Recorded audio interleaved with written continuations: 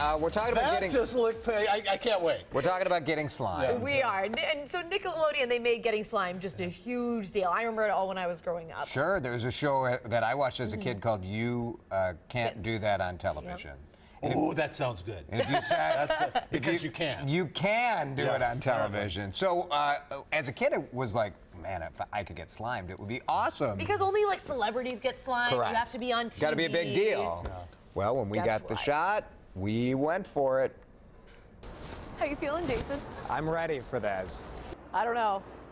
I don't know. Uh, as a kid growing up watching Nickelodeon, I always kind of secretly wanted to get slimed, but I'm a little nervous right now. I'm not feeling totally confident. Uh, that's a big bucket. I thought maybe they would be a little bit smaller. Three, two, one. Do it! Oh my god! Oh my! Wow! That's a lot of slime. Look at your hair. That's a lot of slime. Oh, you're telling him, look at your hair. You do not look pleased with this situation, So I Kylie. didn't realize you that look it like would. you were sad. I- Well, it congeals to your head in a Oh, way that it? I was very unfamiliar to me. Funny how goon, yeah, yeah. Funny Look, that goon dripping off would grip, uh, grip to your head. Funny. My favorite at the end, they came and uh, turned my head into a mohawk, which that was very nice. So this is part of Slime Break at Nickelodeon Universe at Mall of America. Fun. They're doing this special for spring break. So every day they have a slime show at one and two in the afternoon. And they have like a game show kind of thing, That's so kids can compete right to do it. Yeah. I know. Here- here's what we were feeling after getting slimed.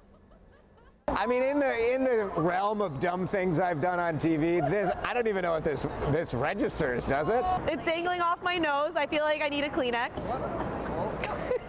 Oh, oh, oh So gross. Oh, your mohawk. There it is. There's the mohawk. yeah. That's as much of a mohawk as you get when you have my hair. This was it was a really fun experience. Kids, if you have kids, Oh, they are going Yeah. to love it because it's the the weirdest, oh. grossest thing, and it's fun. Which which makes it so great. Of course. Okay, how do you get it out? What, what, I actually, you have to our it out or photographer had to drop me off at home. I had to get right in the shower. It and so it just washes out. I- I oh, oh went- good. You can use it all the time. Yeah. I went to lunch. I don't know why you made such a big deal out of it. I went out to oh, lunch Oh, afterwards. you It did fine. not. Yeah, I did. and I'd like to apologize to everyone at Il Foro for looking like I did yesterday, but whatever.